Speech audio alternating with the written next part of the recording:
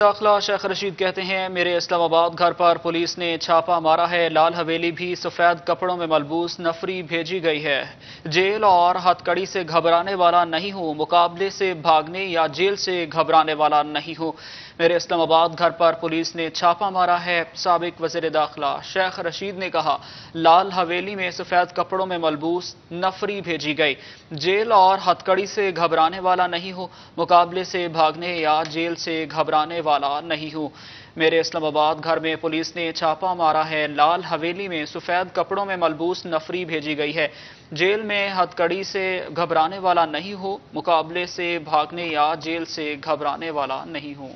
मेरे इस्लामाबाद घर पर पुलिस ने छापा मारा है। शेख रशीद कहते हैं, लाल हवेली में सफ़ेद कपड़ों में मलबूस नफरी भेजी गई। जेल और हथकड़ी से घबराने वाला नहीं हूँ। मुकाबले से भागने या जेल से घबराने वाला नहीं हूँ।